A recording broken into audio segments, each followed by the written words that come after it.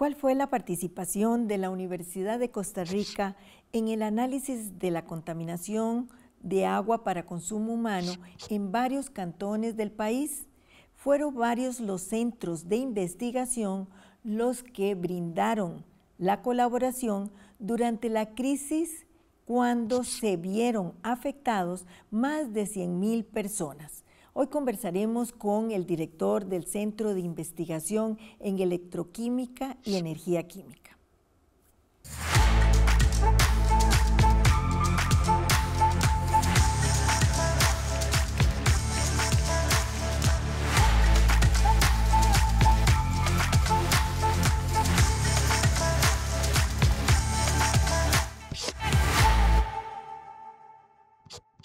Bienvenidos a Lo que importa, un programa de entrevistas semanal sobre la realidad nacional. Les saluda Alejandra Fernández Bonilla, aquí en Canal 15 UCR. Y bueno, el tema de hoy es sumamente importante porque lo que tratamos es de redondear toda esa información que se estuvo suministrando sobre la contaminación con silenos en las aguas de varios cantones de el gran área metropolitana, pero también con Turrialba. Y hemos invitado al director del el CELEC, el Centro de Investigación en eh, Química y Electroquímica y Química de la Universidad de Costa Rica. Eh, tiene una gran trayectoria, como le decía, eh, él se llama Jan Sanabria Chinchilla, y un gusto que esté con nosotros. Muchas gracias por la invitación.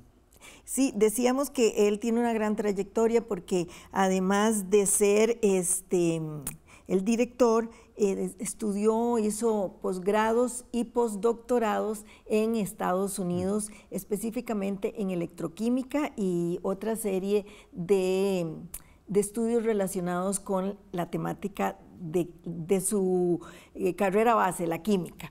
Mire, para empezar, yo quisiera que tal vez nos, resumiera eh, cómo quedó todo lo que encontraron ustedes, las sustancias que efectivamente se habló de silenos, eh, qué descartaron, eh, cómo fue ya finalmente el resultado para iniciar de ahí, pues para ver también ese papel que jugó la universidad y específicamente el centro que usted dirige. Muy bien.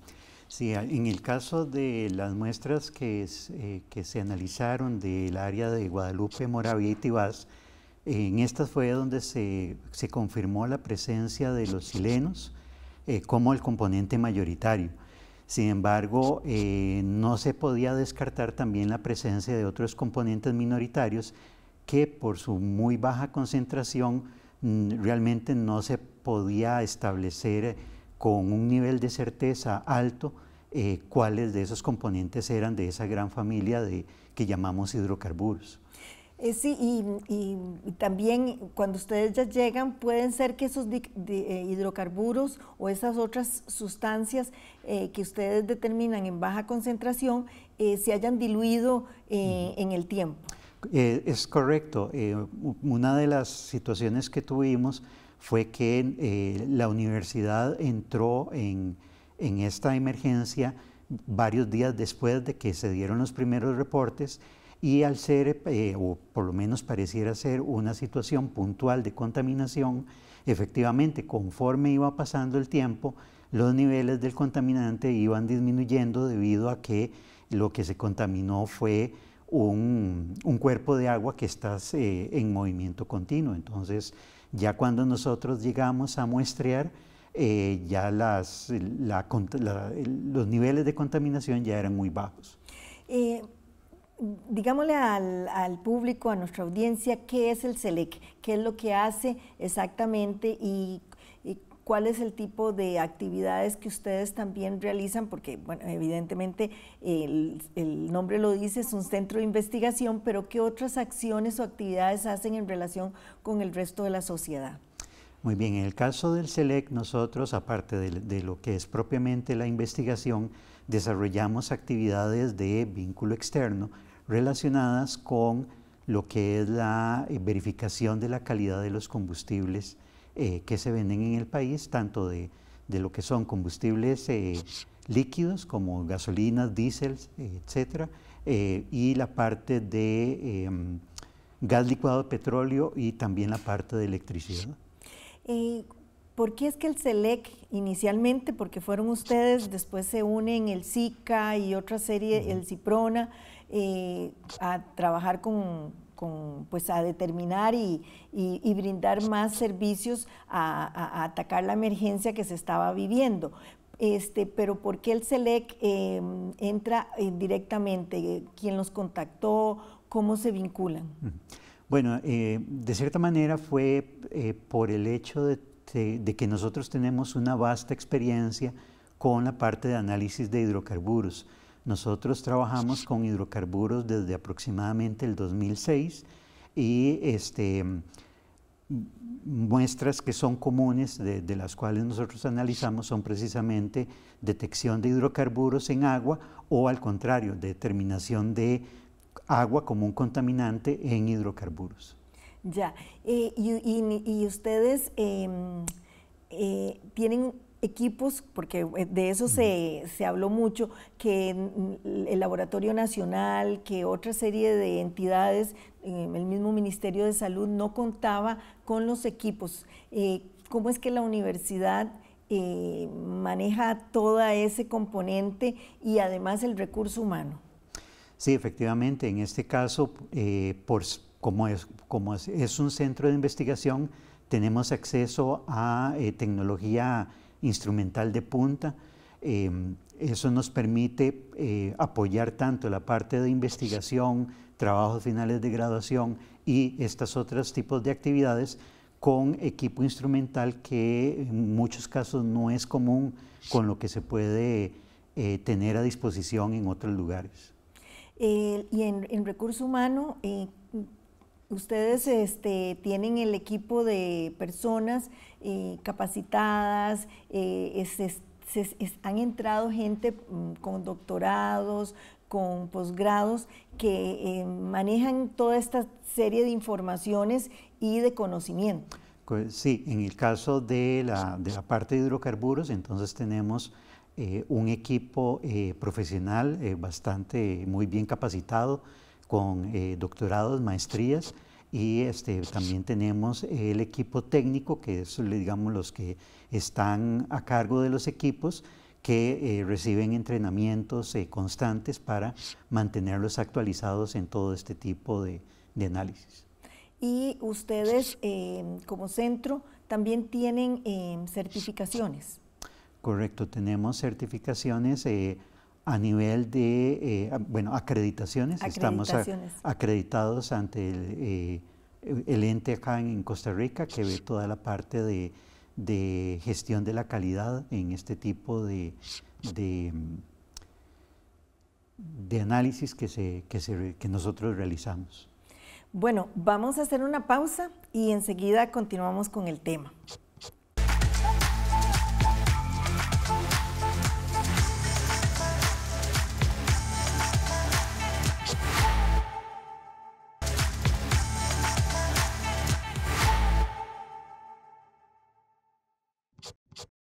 Y continuamos con lo que importa. Aquí por Canal 15 UCR estamos hablando con el director del CELEC, uno de los centros de investigación que entró a trabajar en la emergencia para detectar contaminantes en agua. Específicamente se buscaban hidrocarburos y eh, dieron con silenos. Eh, precisamente hablando de silenos, que nos diga usted qué son los silenos para aquellas personas que todavía no estén familiarizados con esa sustancia. En el caso de los silenos son eh, compuestos, eh, se les denomina compuestos orgánicos, que eh, normalmente son, parte de muchos productos comerciales. En el caso de, hay, hay, una mezcla, de, hecho es una mezcla de tres tipos de sileno, lo que nosotros en química llamamos orto, para y metasilenos y eh, son compuestos que no se solubilizan en el agua, sino que en este caso lo que ocurre es que permanecen en la superficie del agua. Entonces también eso fue un factor importante a la hora de tratar de, detectarlos y de cómo muestrear eh, los cuerpos de agua que estaban contaminados. ¿Qué industrias es la que usa este tipo de sustancias? Hay muchos tipos de, industrias que utilizan eh, materiales de este tipo. Eh, por ejemplo, el sector de, pinturas es uno de ellos, también textiles em, y este, otros que lo utilizan como un eh, desengrasante o disolvente para otras materias primas. Si la persona ingiere este tipo de mm, sustancias, eh, ¿podría ingresar al hospital o tiene que ser en altas dosis como para que se intoxique? Correcto, eh, debe ser una cantidad eh, muy alta o casi que está ingiriendo el producto puro para que haya un, un problema de salud instantáneo. a manera de ejemplo, la, la normativa en Costa Rica establece que en el caso del sileno, el nivel permisible en cuerpos de agua es de 500 microgramos por litro y este, nosotros lo que estábamos detectando eran concentraciones aún más bajas de ese nivel.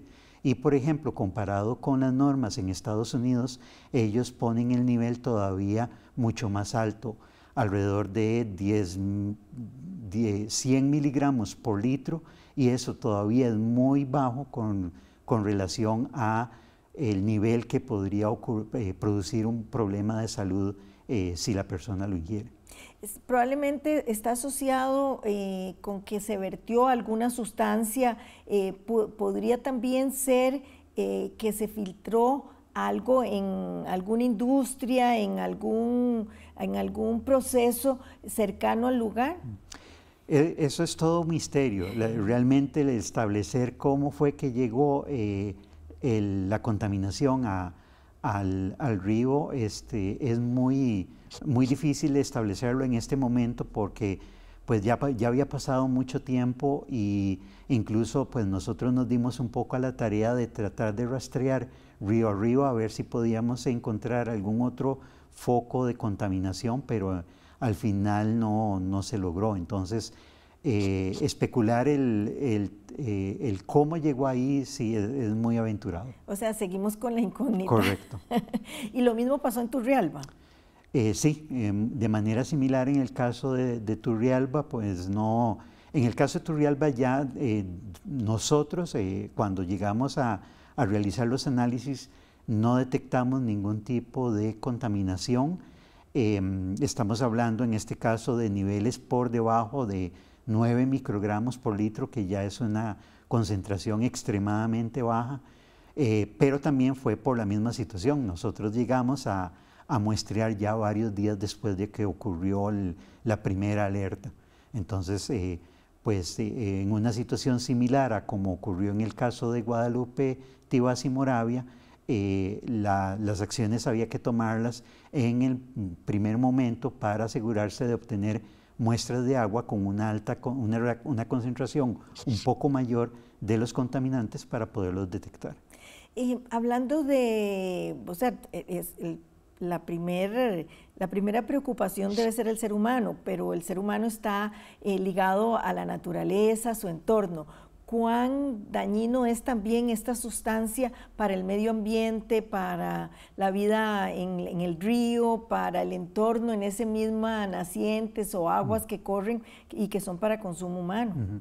Sí, va a depender un poco de la concentración en el momento en que se realizó el foco de contaminación. Eh, como fue algo pareciera puntual, entonces eh, probablemente no haya un impacto tan grande y especialmente porque este tipo de, sustancias químicas son volátiles, entonces se evaporan muy fácilmente, pasan de, del estado líquido en la superficie del agua al, eh, al aire y se van disipando, entonces puede hacer que el impacto no sea tan grande como con otro tipo de contaminaciones. Eh, dentro del conocimiento que usted tiene, bueno, por detectar tanto agua en hidrocarburos como hidrocarburos en agua, me comentaba anteriormente, este, ¿ustedes se habían, habían en algún momento em, estado o habían conocido de una situación similar en algún otro lugar del país? De este tipo, no. En su momento sí eh, estuvimos eh, una situación en la cual fue una estación de servicio donde había una reparación y hubo una ruptura de una de, las tuberías que llevaba el combustible del tanque de almacenamiento a, al, lugar donde se dispensa y pues este, hubo cierto grado de contaminación, entonces estuvimos un poco relacionados con ese tema para verificar el momento en el cual ya los niveles de, de los hidrocarburos hubiesen disminuido a un nivel que ya no era detectable. Eh, ¿Es prohibido verter eh, cualquier tipo de hidrocarburo o sustancia a los ríos? Eh, es correcto, cualquier tipo de, sustancia química que no, no, debería de estarse vertiendo a, a, los ríos, especialmente en este caso, porque son fuentes que se están utilizando para captación de agua potable, que sería, digamos, uno de los mayores efectos que tendría para la población costarricense. Eh, don Jan, vamos a hacer una pausa nuevamente y enseguida continuamos con este tema.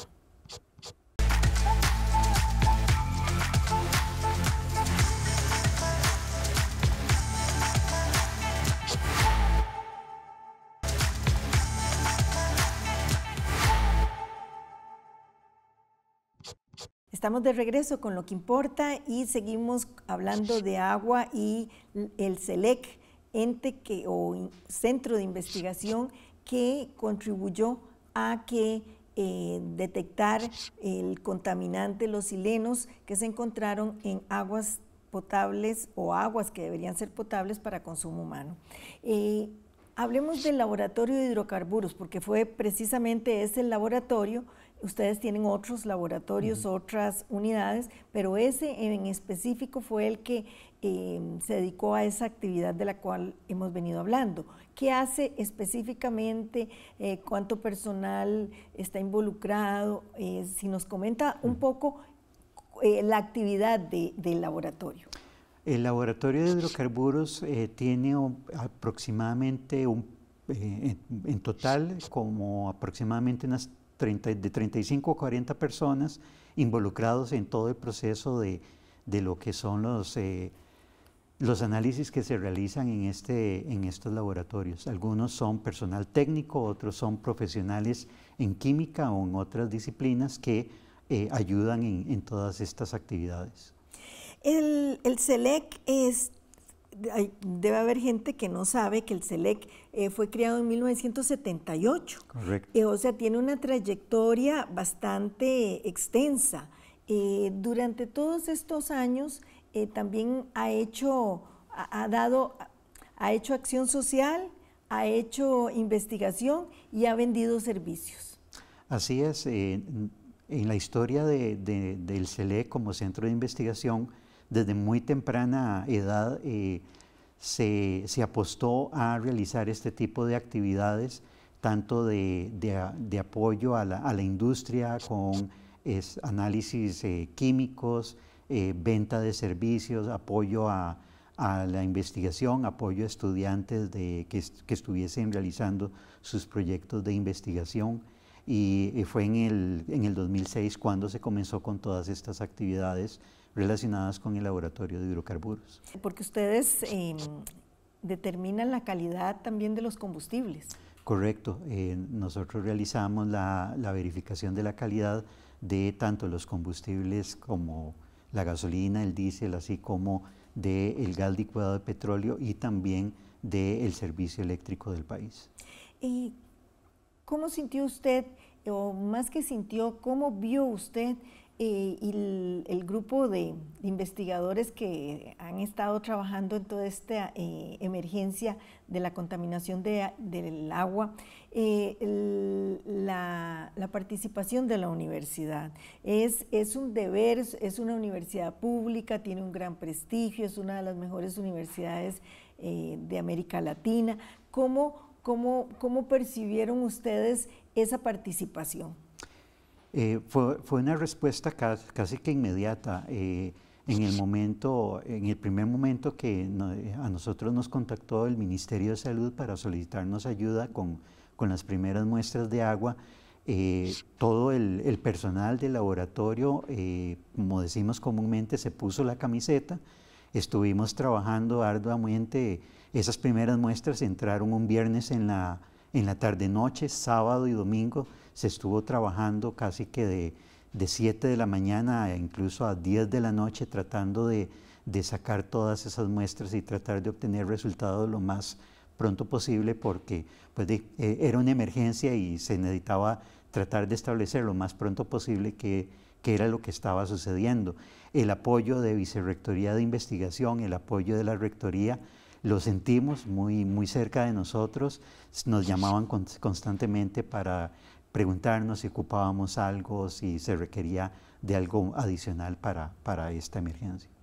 El, ustedes, eh, pues normalmente no se trabaja así y además nunca hay unas emergencias de este tipo, por dicha, que, que no sucede frecuentemente, pero eh, la gente a veces desesperaba y, y, preguntaban, ¿y ya van a salir los resultados? La prensa también estaba muy al tanto de lo que estaba sucediendo.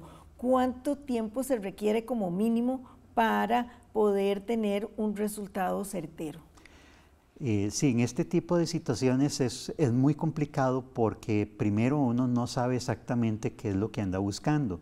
Como mencionaba, pues bueno, la familia de hidrocarburos es una familia extremadamente grande, hay muchos, muchos miembros y eh, por el tipo de tecnología química que se utiliza para este tipo de, análisis, siempre hay que eh, comparar lo que uno obtiene en la muestra real con compuestos puros y algunas veces no se tiene toda la familia de estos eh, componentes a disposición. Entonces ahí eh, parte, eh, esa es la, tardanza con la cual se estaba, se estaba tratando de, de, obtener los resultados y por el, otro, por el otro lado, propiamente el análisis como tal, cada muestra duraba un poco más de hora y 20 minutos en hacer simplemente la corrida en el, en el equipo más el tiempo de análisis de datos del profesional en química que, eh, que tenía que hacer, porque eh, por, por las repercusiones que tiene este tipo de, de, muestras,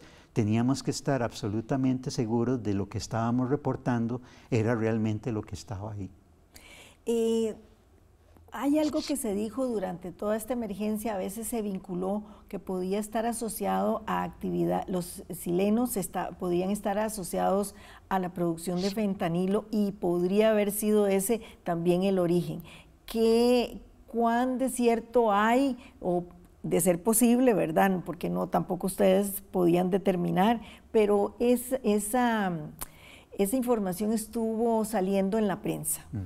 Sí, es, eh, e, es difícil de establecer realmente por el mismo hecho de que no tuvimos la oportunidad de tener muestras de los primeros días eh, para, para, hacer un, mejor mapeo de todos esos componentes que podrían haber estado presentes en, esa, en ese foco de contaminación. Eh, es difícil establecer cuál, cuál fue la, la fuente de, esa contaminación. Entonces, eh, no, no, podría decirle exactamente si pudo haber sido o no, o qué tan probable pudo haber sido. Eh, ok, no, es, es importante porque la gente se queda con cierta información eh, que sí, sí fue, que se dijo esto, y a veces pueden haber incorrecciones también en, en lo que se transmite al público en general. a mí me gustaría como que usted nos hiciera un o sea, como para ir cerrando, el, ¿en, qué estado quedó el, eh, el agua en la naciente donde ustedes estuvieron recogiendo, o, las aguas alrededor, donde estuvieron recogiendo las muestras? ¿Cómo quedaron? ¿Quedaron bien? Este, ¿Ustedes vieron que, que la situación en cuanto a la seguridad del lugar eh, es la adecuada, falta más seguridad, y como profesionales en donde ustedes estaban en una emergencia, porque como usted bien lo dice, era eh, un, es el líquido más preciado que necesita el ser humano. Sí, en, términos de, los lugares donde nosotros muestreamos, eh, conforme pasaban los días y llevábamos muestras al laboratorio para analizarlos, y veíamos que los niveles iban bajando más y más hasta que ya prácticamente eh, fue imposible el, observar señales en el equipo que dijeran, bueno, ahí todavía, es, todavía hay alguna contaminación. Eso es muy importante porque eso nos reitera la idea de que fue una contaminación focal y que no fue algo que, fue, eh, que se reiteró en el tiempo durante esos días. En cuanto al, a las nacientes o, los lugares donde están las tomas de agua para, para eh, el agua potable, eh, sí, eso es todo, todo una problemática porque el lugar propiamente donde está la toma de agua para las plantas de, tratamiento es un lugar que, pues sí, está cerrado, pero es una fuente de agua abierta y entonces si uno se va río arriba, pues está completamente abierto y entonces eh, cualquiera puede pasar por ahí, incluso en, en algunas eh, ocasiones un poco más arriba donde se estaba muestreando se podía ver que una vaca estaba eh, metida dentro de la naciente de agua. Entonces, este, pues sí, están completamente al descubierto. Doctor Sanabria Chinchilla, le agradecemos mucho la presencia, haber aclarado, haber compartido ya como para un cierre final de esa emergencia que tuvo en vilo al, al Valle Central, de lo que estaba pasando y mucha gente que la pasó muy mal durante muchas semanas eh, sin agua. Muchísimas gracias y en otro momento hablaremos más del SELEC. Muchas gracias por la invitación. Bueno, muchísimas gracias, doctor Sanabria Chinchilla. Y esta ha sido la entrevista con, sobre este tema que en realidad tuvo muy preocupada a la población costarricense sobre el faltante de agua y la contaminación y posible intoxicación, etcétera, problemas de salud para los habitantes de esos cantones. Nos vemos la próxima vez y continúen con Canal 15 UCR.